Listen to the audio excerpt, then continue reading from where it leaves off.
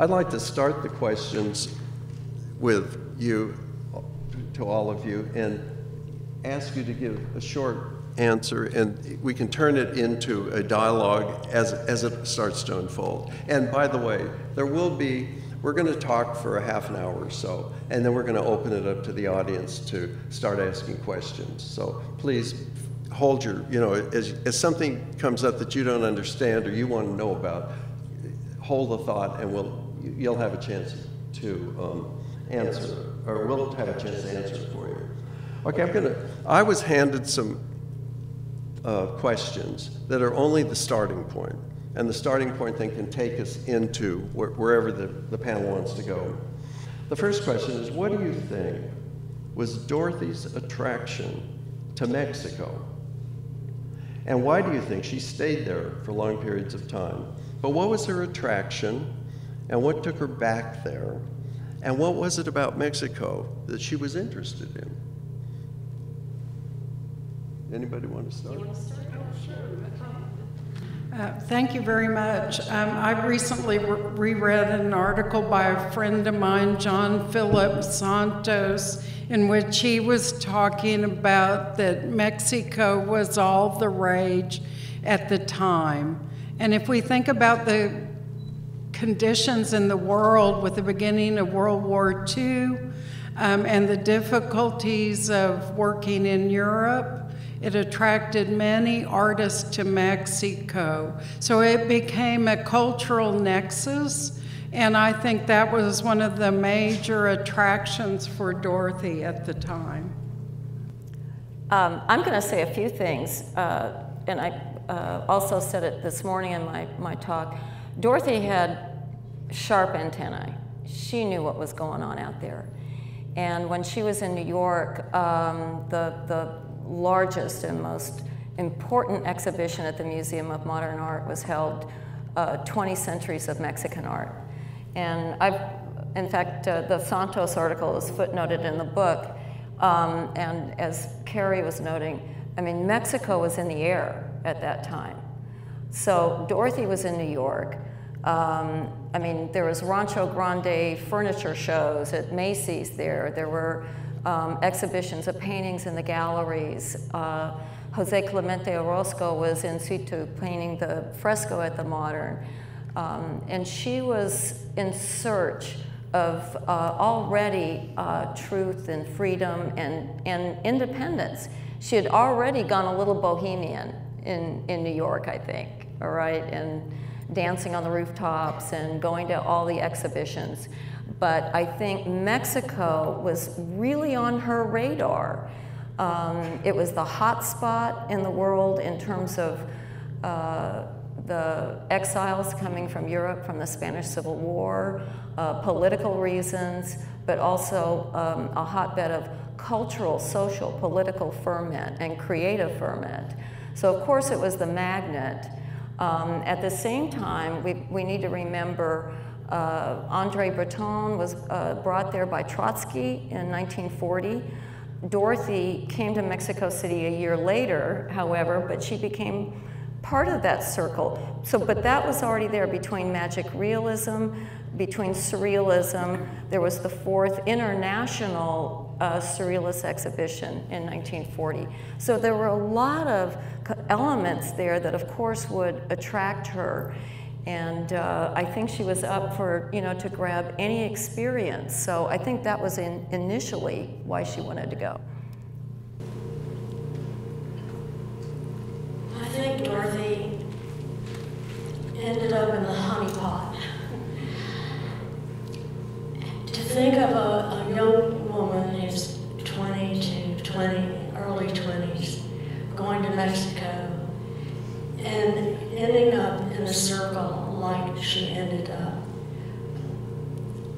That doesn't happen to very many people. I don't know the social circumstances, but to have people that were, a, a lot of them, old enough to be her parents, like Orozco and Rivera, embrace her, teach her, and help her to grow.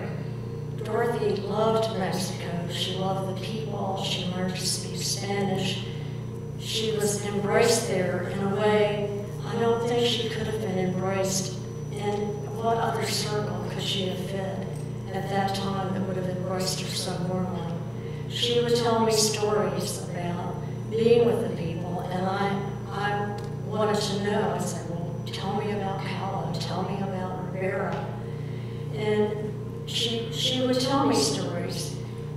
One of them that I liked the most was about Remedios Varo, who was someone I was very interested in. And she said that of all the women in that group, that Kahlo was not someone that was warm to her and embraced her in the same way that Remedios did. The Remedios Varo um, um, was a great friend of Leonora Carrington's. Leonora was a little bit wacky um, and, and um, very exciting, but very different. Remedios was, was gentle, and Leonora often had difficulties and emotional difficulties. And she said that Remedios took care of her and embraced her and was a good friend to her during every trial she ever had. And she had, and she, Remedios, Dorothy too. Very interesting. And I didn't think I had much to say about this topic, but I just, about Mexico, but I started thinking, um, absolutely, with the proximity of Texas to Mexico, so many artists went down there. And Mexico had an interesting relationship to Texas art because it was at once the other, but also Texas was formerly Mexico. And, and uh, Dorothy talked about that. People I can think of immediately off the top of my head who make, made a point of getting to Mexico, Jerry Bywaters regularly would go down there.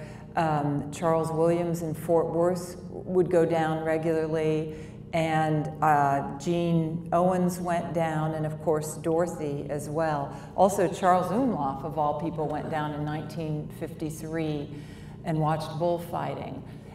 Also, but I, I just thought of something I want to talk to Susie about at dinner tonight.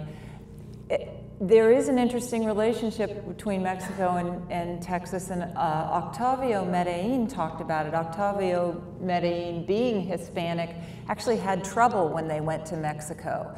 And yet, when Dorothy went down there, she would talk about how, yes, it was an old fashioned in terms of women, but she was embraced like an artist. So she felt like none of the problems, maybe, none of the problems she had in the United States were, were hampering her in Mexico because they had such a reverence for artists. So I thought it's important to say it's a, it's a complicated issue, but I think Dorothy got, got the best of it, maybe.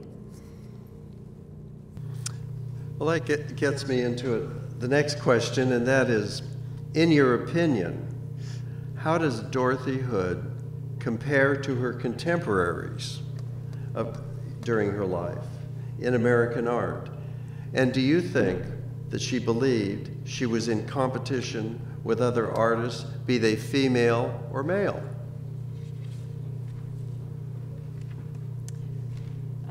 Do you want me to go ahead? You want me to take this? You're Boy, that's a you're tough one. have a pen Okay, that one, I'm all right.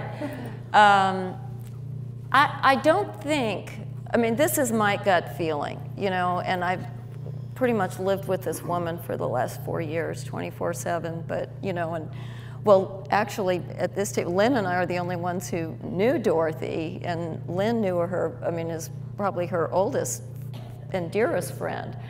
But um, I, I never felt that Dorothy was in competition with, with other artists. I think she, um, uh, she had absolute belief in the validity of her art. I do believe that. And um, made great sacrifices, uh, at sometimes made, uh, as we all do, poor decisions, uh, not only in her art, but in men and living, condi- you know, those kinds of life decisions that would cross over into art. Um, this is what uh, fascinated me about Dorothy, however, in going through the thousands of pages of the you know, correspondence and archives. And, and I can say that because Dorothy would keep every letter she wrote, she would keep carbon copies. Um, or she would, you know, or mimeographed. I mean, everything was, you know, it was all in boxes, but it was all there. And what really impressed me is that coming from, you know, Bryan, Texas, being born, being raised in Houston, um, you know, going to RISD, Mexico City, or whatever, you know, she wasn't on what we know in this age as a career track, okay? However, I mean, even in Mexico City, I don't know how she did it. I guess with a, you know, an old royal typewriter that she would rent somewhere and, you know, between Puebla and, and Mexico City to get the mail out or whatever. But from the very beginning, she would uh, write, I mean, uh, artists across the country, directors, gallery dealers. She was almost like a guy, a male artist at the time, in making contacts. It's like, I kept wondering, how did she know how to do this? You know, it's something that you really kind of go through with experience, but she started out that way. So if there was any feeling of, you know, a competitive nature, I didn't feel it in the art, although she was always pushing herself to go on and always, um, I think, upset whether she didn't have the, you know, the materials like living in Mexico to be able to paint, that she was living in such poor, you know, next to poverty conditions. But uh, somehow she was always able to keep one up, and I think that was it. And there are letters from her mother that would keep pushing her, like, well, why didn't you apply for this Guggenheim? Or why didn't you do this? Or, you know, that. So that was kind of the, you know, the push for her. But so in terms of getting her art out there or getting her name, and I think, and this goes back to the Mexico question too, I think she felt that she had a better chance being in Mexico, kind of as a, our, one of our first transborder artists, that she would get more attention early on um, in the United States. And there were, uh, with the correspondence between her and Royal Farnum at RISD at the time, of course, he was saying, well, be careful. We don't want our, you know, American artists going to Mexico and coming back little Mexicans. I mean, Let- he really me- said that. But let me ask you something. Which me- goes back to Katie's thing Yeah, about uh, but artists going here- together. You'll notice that there's one thorn among four roses, okay? So I, I have to be the thorn, and I'm a male. And I'm a male in a business in which males have a lot of power. I acknowledge that. Thank God it's changing. I'm 100% for it. But I want to get back. I know the art historical stuff, but I want to kind of be hard even on the men. And it seems to me that most of the famous artists, even those that have been written about so much, even some of you up here that have written about mainly, at least on the bios, there's so many men. And it seems to me that what is so interesting in her career is that if you walk through that gallery, those galleries, and you see that art, and my question to all of you, it, it- it's even visceral to personal, and that is, is does that stuff hold up against every one of these guys? And I say, of course it does. That's what I don't understand. I don't understand. Does she hold up or is it me? Now, we're probably going to have a unified front here, but it's like, wait a minute, something is wrong. Well, something I- is wrong if she doesn't. I just wanted up. to say that in their lifetimes, Remedios Varo, Leonora Carrington, and Frida Kahlo took back seats to the men. So they, the research and scholarship and knowledge and understanding of those women artists, even though they were, and Maria Izquierdo, even though they were embraced in the art world, they were second fiddle in their lifetimes. So it's a more recent phenomenon that we have placed them in scholarship the way that we have. So is that what's going on here then? I hope so. See, that, that's what I find, and remember, I'm the moderator in here, they're not talking. Okay, Lynn. Worthy, um, the, Dorothy did not fit into the abstract expressionist mode in the sense that she was not a formalist. In the early abstract ex- expressionists were more interested in spirituality. But that was almost a generation after her, in art at that time, and in Dorothy's parallel world, the abstra- abstract art was more concerned with art about art. And Dorothy was never concerned about art, about art. Dorothy was concerned about about the big issues in life. And those issues are still with us. I think some of what kept her from being a big, having a larger reputation nationally was that she wasn't doing formalist art. She was doing spiritual art. And I also think that what that that stopped her at that point is what empowers her now in a much broader field. And I think that art needs that kind of spiritual food that's been lacking for a long time. And she's here to give it to you. Oh, can I, oh, can I go? Well, I think that was fantastic, and I agree, and the cogs are really turning here.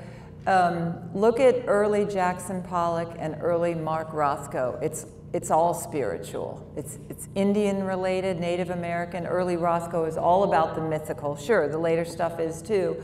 But what do they get famous for? They get famous for the abstract expressionist gesture that is the automatic or the, the color field. And I, I really do, um, I'm very much a student of studying in the 1980s and 1990s when we started looking at how abstract expressionism began to dominate world art, and it was partly political. To say that this, this gesture was something that demonstrated American freedom. And so there was a lot of reasons why abstract expressionism had to represent America.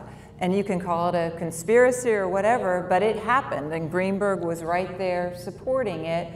And it's absolutely, I agree with what Lynn says, that um, Dorothy's work is more about the spiritual in a way. I want to comment on something what, what, what Lynn and Katie are saying, and I think it's also important to realize, and I write about it in the book, that um, uh, there are, were at minimum 25 years correspondence between Dorothy and Dorothy Miller, the first curator of Museum of Modern Art, as well as uh, uh, many decades of correspondence with Marian Willard, who owned the Willard Gallery, which was the most, one of the most prestigious galleries in New York at the time.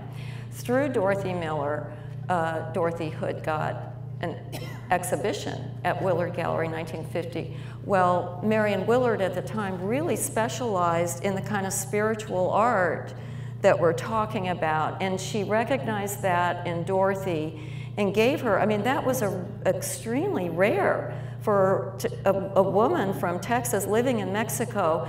And Dorothy kind of, you know, like, gosh, am I considered a Mexican artist or am I an American artist here? Or, you know, the, the and, and at that time, you really did have to kind of draw the lines. But to have a show at the Willard Gallery, 1950, Marian Willard at the time was showing David Smith, Paul Klee, um, but also Mark Tobey and Morris Graves, all right, who were very much spiritualists. Through that, um, Marian Willard later on uh, wrote letters and um, on Dorothy's behalf uh, to when she had her first trip to Europe in the early 70s uh, to meet Mark Tobey, all right?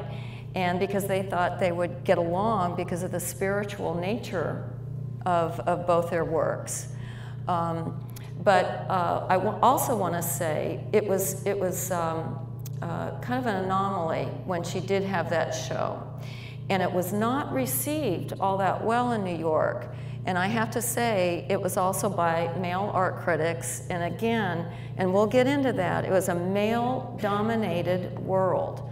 Art critics, you know, most of the directors, the artists, but at the time, and it, and it really hurt Dorothy, all right?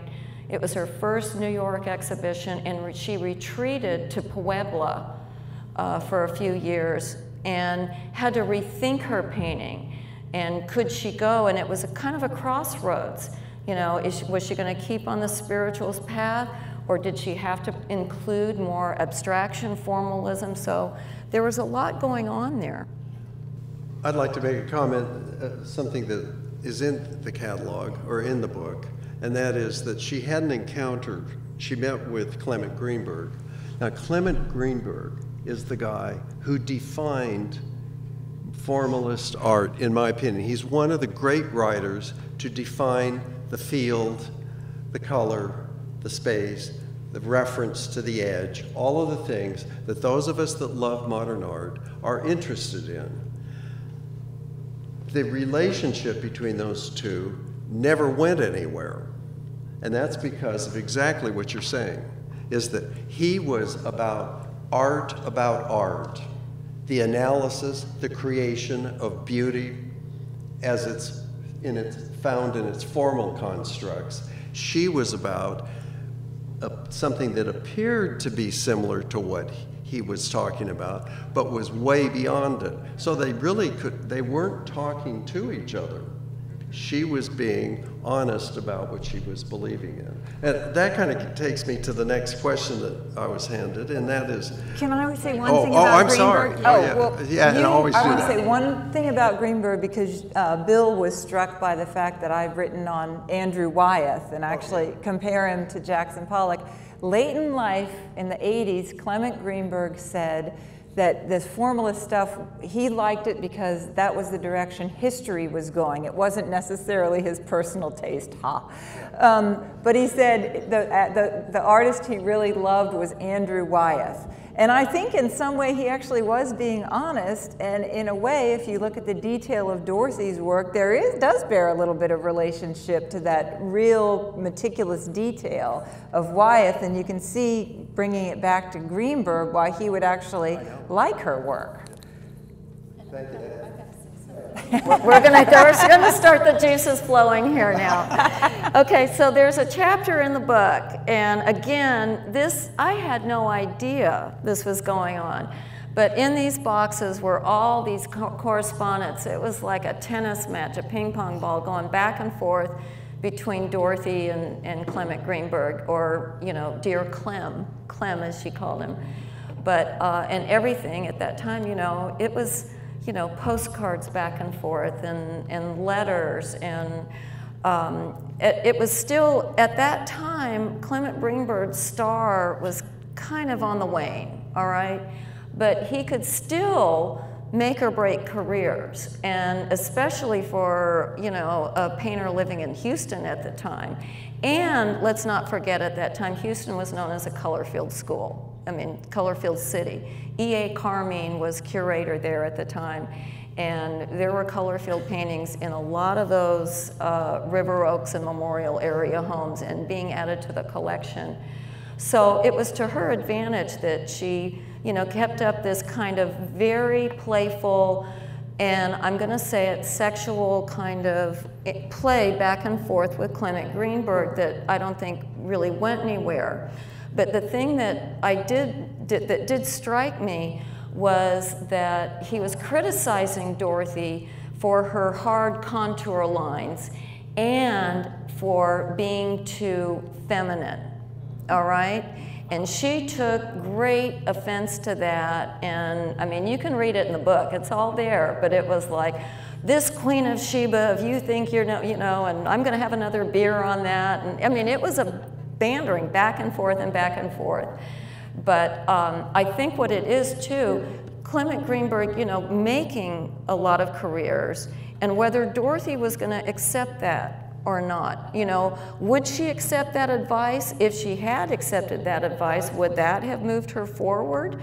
Another Greenberg painter, Walter Darby Bannard, there's a letter from him in the archive that says, you know, Dorothy, do not paint the void. The void literally means nothing. But Dorothy, being the independent soul, didn't pay any attention.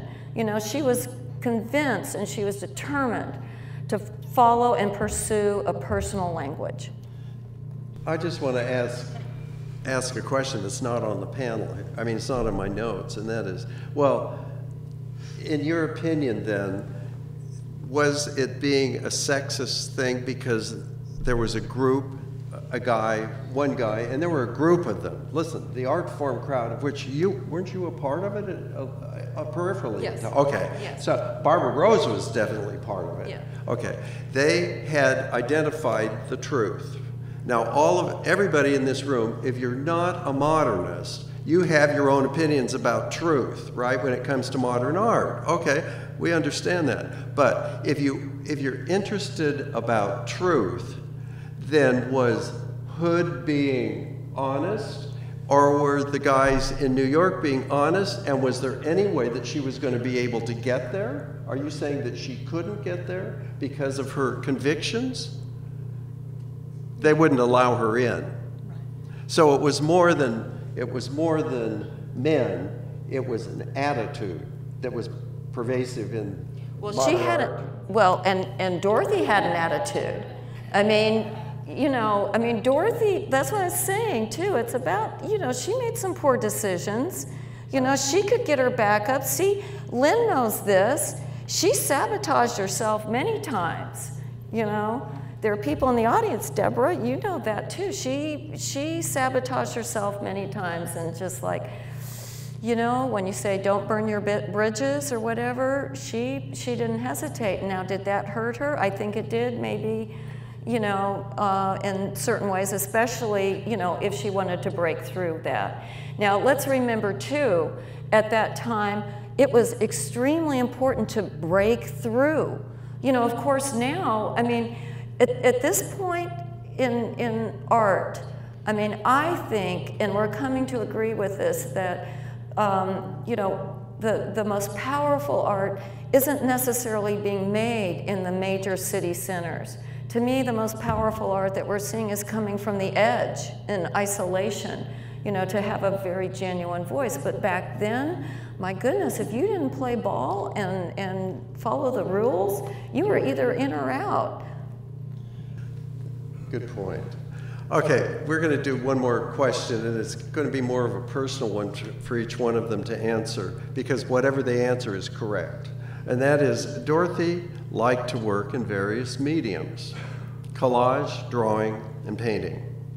What do you believe, personally, without talking about monetary value or all of, you know, the big against the small, what do you think? Where do you find most of her masterworks? Well, I have to say that I hadn't seen her drawings before, and I am absolutely enchanted with her ability to maintain such a meticulous linear quality. I am just kind of, it's mind boggling how she was able to create all of those drawings. They are amazing. So, those are my personal favorite. Well, I've held all of these works in my head that are out there and more for four years. So I replay them all the time. And I'm amazed um, after, you know, so many years and thinking about them. Uh, when I saw them in the museum here, it was a very emotional experience. So for me, it, there, it's, it's a two-part question. Um, of course, the scale, the large, the epic 10-foot paintings. You know, Dorothy told me one time in her studio when I asked her, you know, what did she want the viewer to take away with this work? And she says, well, I want, to, want the viewer to hear the lions roar and the drums beat. So when I stand in front of those 10-foot paintings, I feel this kind of reverberation in my stomach, like the rockets taking off.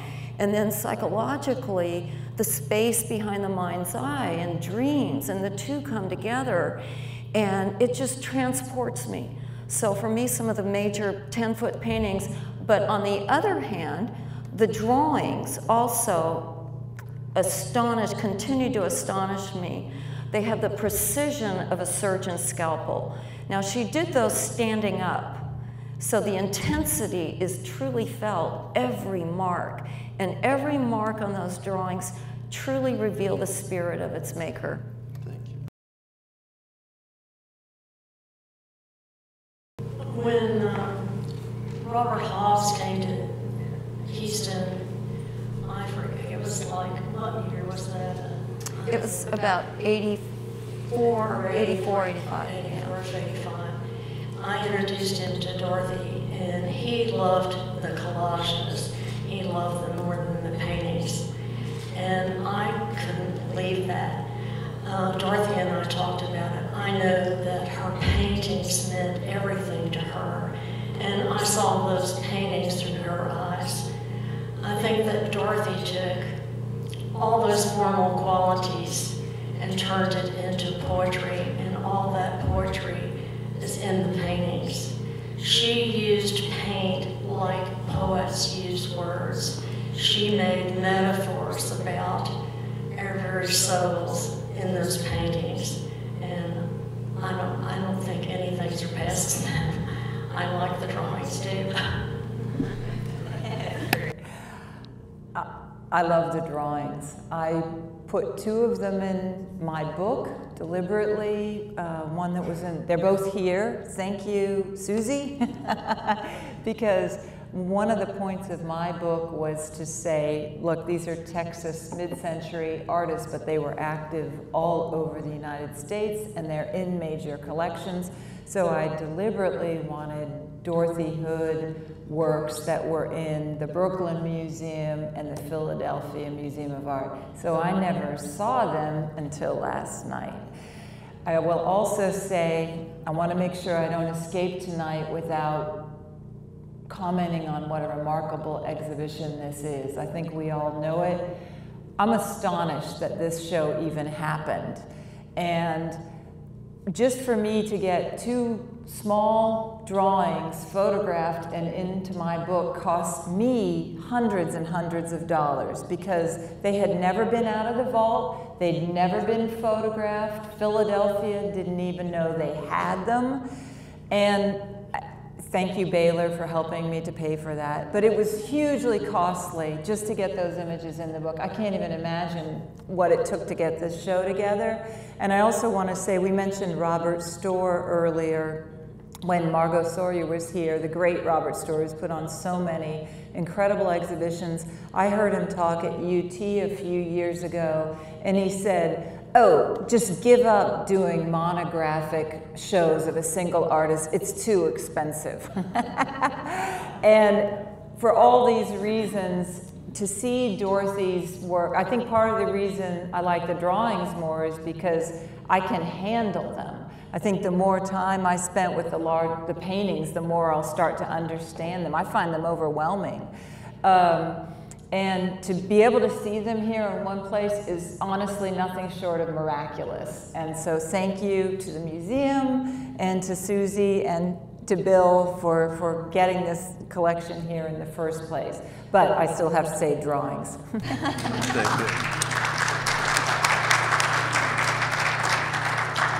To me, what was so special about those comments is that the diversity and the, the answers and the reasons. And that's what makes art so special. Now, we have a few minutes left before we have to close this for the evening, and I'd like to open it up for questions to the whole panel or to any particular person. Oh, yes, go ahead. Before we met today, Susie was asking me to say a little bit about the pre Columbian influence. And so, if you look at her work, you can see actual images of pre Columbian art, as well as titles of abstract works like Monte Alban, places that she went. I wanted to say that the discovery of pre Columbian art didn't really happen until Frederick, Frederick Edwin Church of the Hudson River School started collecting pre Columbian art. It then went into ethnographic museums So it's very pivotal that Dorothy was with these artists like Diego Rivera, Orozco, artists who were trying to reclaim the pre Columbian past as an artistic rather than an ethnographic tradition. So I think it had a very meaningful impact on her work. That's fantastic. Thank you, Carey. That's great. Okay, we'll open it up now.